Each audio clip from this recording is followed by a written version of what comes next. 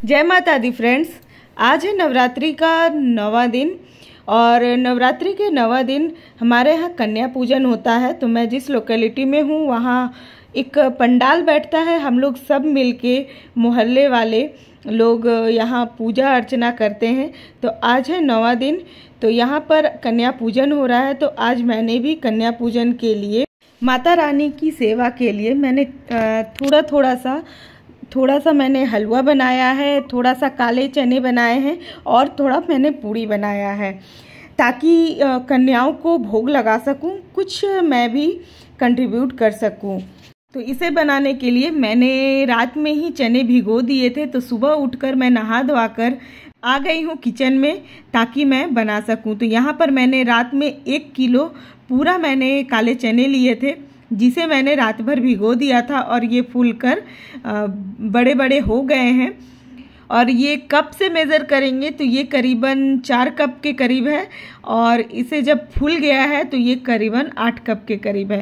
तो इसमें मैं थोड़ा सा तेज पत्ता डाल रही हूँ। थोड़ा सा क्या मैंने सात आठ तेज पत्ते दिए हैं, क्योंकि मैंने चना ज़्यादा लिया है और तीन मैंने इसमें बड़ी वाली इलायची ली है।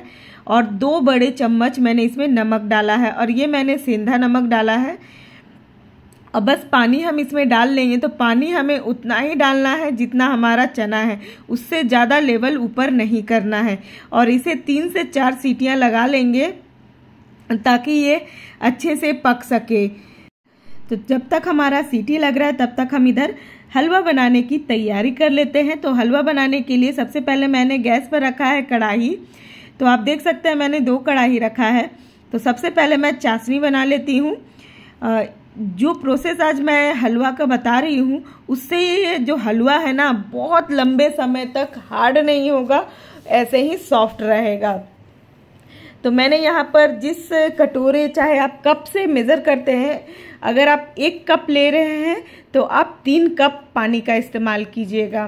तो मैंने यहाँ पर बाउल के हिसाब से, आधा बाउल से थोड़ा सा कम मैंने लिया था तो उस हिसाब से मैंने पानी इसमें ले लिया है और अच्छे से इसे पिघलने देंगे तो दूसरे एक तरफ़ मैं पानी को उबलने देती हूँ चाशनी बनने के लिए। और हमें तार वाली कोई चाशनी नहीं बनानी है, बस इसे पिघलाना है, उससे ज़्यादा कुछ नहीं करना है। आप चाहें तो पानी में ही केसर के धागे डाल सकते हैं, पर मेरे पास पूजा पाठ वाला नया केसर नहीं था, इसलिए मैंने यूज़ नहीं किया है।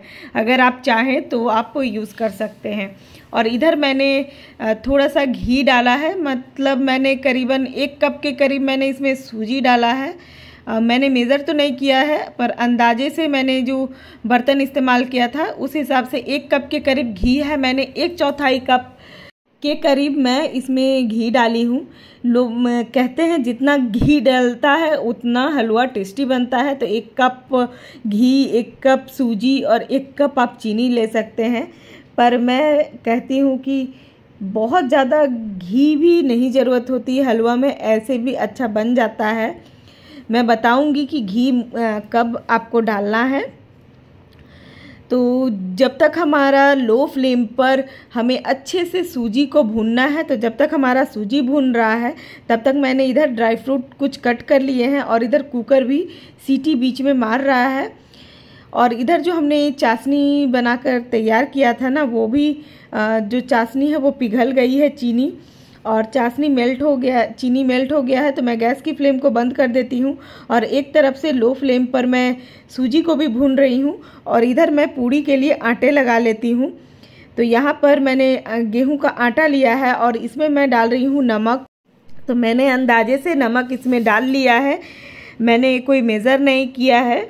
आप अंदाजे से थोड़ा नमक डाल लीजिएगा और इसमें मैंने जितना आटा लिया था ना उस हिसाब से थोड़ा सा मैंने रोगन डाल दिया है थोड़ा सा मतलब ऑयल डाला है और यहाँ पर मैंने मूंगफली का तेल का इस्तेमाल किया है और सबसे पहले तेल को अच्छे से मिक्स कर लेंगे। आ, मैंने तेल इसमें बहुत ज़्यादा नहीं डाला है पर थोड़ा सा डालना ज़रूरी है। और इधर मैं आटा को भी लगा लेती हूँ जब तक हमारा सूजी भून रहा है, क्योंकि सूजी अच्छे से हमें भूनना है। सूजी भूनने के लिए आप थोड़ा सा पेशेंस रखिएगा थोड़ा सा टाइम दीजिएगा तो हलवा जो है वो बहुत अच्छा बनेगा।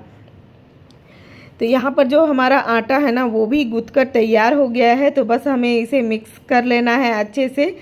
और ये हमारा आटा तैयार है, ये थोड़ा सा हार्ड मैंने आटा लगाया है। बहुत ज़्यादा सॉफ्ट मैंने जैसे रोटियाँ बनाती हूँ, उस तरह से नहीं लगाया है। थोड़ा सा हार्ड आटा है। तो बस इसे हम ढककर साइड कर देते हैं और यहाँ पर जब तक हमारा आटा गुथ रहा था, तब तक हमारा सूजी भी अच्छे से भुन गया है। तो जो हमने चाशनी के लिए बनाया था, चाशनी बनाया था जो हमने, वो हम आधा पहले डाल लेंगे क्योंकि एक साथ डालने पर गुठलियाँ पड़ने के भी चांसेस हैं। तो एक बार आधा मैंने डाला है और उसे पहले, सबसे पहले मैंने मिक्स कर लिया है। उसके बाद मैंने और जो हमारा चाशनी बच गया था, वो भी मैंने डाल लिया है। और जो कढ़ाई में मैंने चाशनी बनाया था, उसे धो लिया है, उसे पोछ लिया है, और उसी में मैंने दो चम्मच, मैंने जो रेगुलर खाने वाला चम्मच है ना, मैं उसी से घी ली हूँ, घी डाल लेंगे, और उसके बाद जो हमने ड्राई फ्रूट कट करके रखा था ना, वो हम भून लेंगे। तो ये प्रोसेस आप पहले भी कर सकते हैं, सूजी भूनने से पहले आप ये घी में पहले आप भून के निकाल सकते हैं। और इधर हमारा जो ड्राई फ्रूट है, वो भी भून कर तैयार हो गया है। तो बस हम इसे डाल लेंगे हमारे हलवे में। तो मैंने हलवे में डाल लिया है और आप देख सकते हैं फटाफट ये बन गया है। और बस इसे हम गाढ़ा होने देंगे, पकने देंगे सूजी को हम अच्छे से फूलने के लिए देंगे। तो बस हमें बीच बीच में इसे चलाते रहना है। और ये देखिए, जब सूजी अच्छे से फूल जाएगी ना तो उसके बाद मैं घी डालूँगी। तो यहाँ पर मैंने दो चम्मच घी डाला है थोड़ा सा और मैं इसमें घी डालूँगी। इसके बाद आपको जितना भर भर के घी डालना है ना, आप घी डाल सकते हैं। ये इस तरह से भी हलवा बहुत ही स्वादिष्ट लगता है। आप एक बार ज़रूर ट्राई कीजिएगा और आप देख सकते हैं, जो हलवा है ना, वो घी छोड़ रहा है और कैसे एक जगह बाइंड हो रहा है। इसका मतलब है कि जो हमने हलवा बनाया है, वो बनकर तैयार है।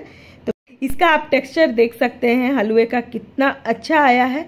और ये टेक्सचर ना आपको लंबे समय तक बरकरार रहेगी। तो बस हम इसे साइड कर लेंगे और यहाँ पर जो हमने चना को बॉईल किया था, वो भी अच्छे से बॉईल हो गया है। तीन चार सीटियाँ आ गई है तो आप देख सकते हैं जो चना है, वो भी अच्छे से पक गया है।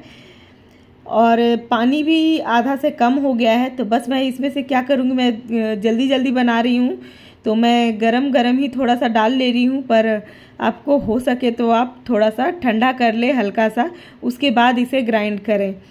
तो बस मैं इसे ग्राइंड कर लेती हूँ थोड़ा सा दरदरा थोड़ा सा मैंने पीस लिया है ग्राइंड कर लिया है तो इसे रखते हैं साइड और यहाँ पर कुछ सूखे मसाले लेंगे। तो मैंने यहाँ पर छः चम्मच के करीब मैंने धनिया पाउडर लिया है, दो चम्मच हल्दी पाउडर और दो चम्मच मैंने इसमें कश्मीरी लाल मिर्च पाउडर लिया है। और बस इसे पानी डालकर घोल तैयार कर लेंगे। ये हमारा घोल भी तैयार हो गया है मसाले। और यहाँ पर मैंने छः से सात मिर्च लिया है, तीखा आप अपने अनुसार ले सकते हैं, बच्चों को देना है, बच्चों को खिलाना है, इसलिए मैंने थोड़ा सा कम ही मिर्च ली है।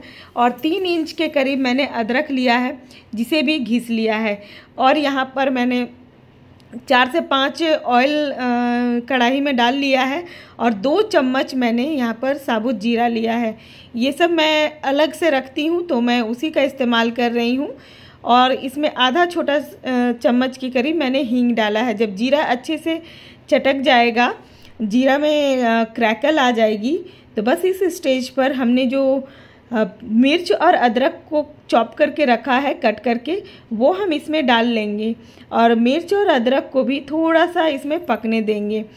कुछ सेकंड्स के पकने के बाद जो हमने मसाले तैयार किया है ना घोल कर सूखे मसाले, वो हम डाल लेंगे। इस तरह से मसालों को डालने से ना, मसाले भी अच्छे से फूल जाते हैं।